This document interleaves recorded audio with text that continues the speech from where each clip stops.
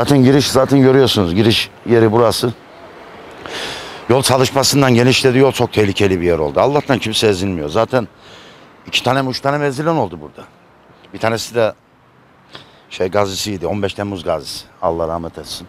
Ha, çok tehlikeli bir yer oldu. Alt geçit var kullanılmıyor. Belediyeden geldiler. Muhtar sıkıştırdı, temizlediler, kamera koydular. Bir hafta sonra aynı.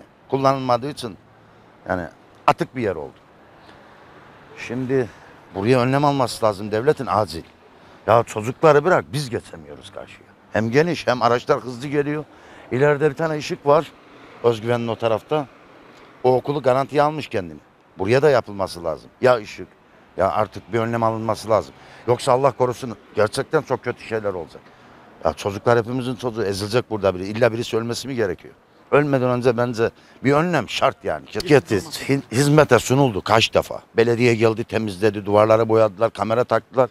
Kimse kullanmadığı için 10 gün, 15 gün sonra aynı. Kimse geçmiyor. Çocuklar geçmiyor bırak. Büyük yaşlılar da geçmiyor yani. Kadını, çocuk kimse geçmiyor.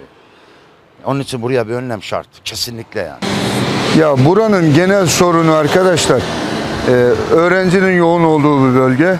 Az ileride ışıklandırma var. E, tabii oradaki iki okul bunu rahatlıkla kullanabiliyor. Oradaki öğrencilerin geçiş güzergahında herhangi bir aksama, herhangi bir sıkıntı yok.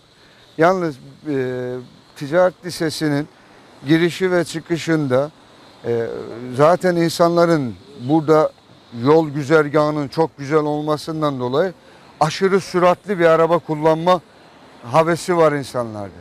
Yavaş kullanan yok. E, çocuklar daha cahil, genç. E, atlıyorlar yola, görmüyorlar.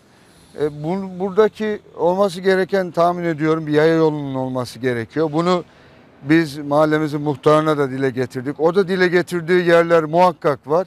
Yalnız biz daha kime çıkabiliriz? Yani burada kaç kere ölüm olduğunu, kaç kere insanların burada öldüğünü e, yetkililer zaten biliyor. Buraya bir kaldırımı biz 3 aydır neredeyse yaptıramadık. Bunu defalarca da dile getirdik. İnsanlara anlattık. Yani kaç tane çocuğumuz daha ölecek? İnşallah bir çözüm buluruz.